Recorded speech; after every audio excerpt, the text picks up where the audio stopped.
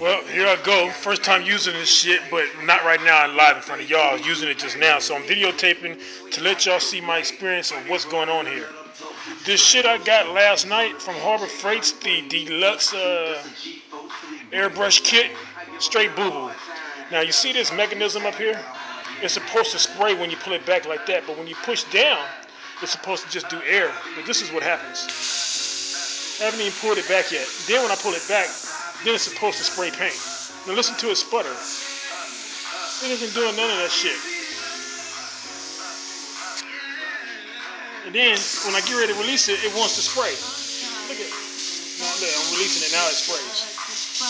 The fuck is this? Okay, now it's forward and I'm pressing down and it's still spraying. Okay, now it's back. Uh oh, about to let go. Listen to this bullshit right here. Good shit. Look at it. Pressing down, pull back. Nothing. All the way back.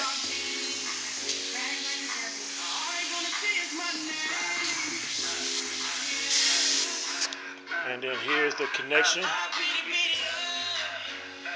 Oh, that's the problem. You got it on the airline. You shouldn't have it on the airline.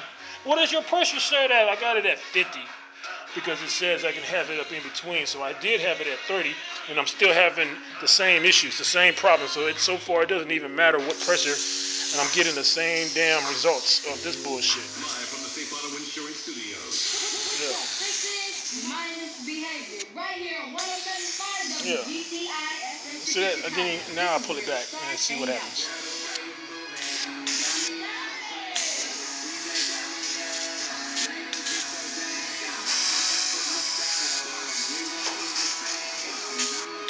Like, why is it spraying when I just push down on it?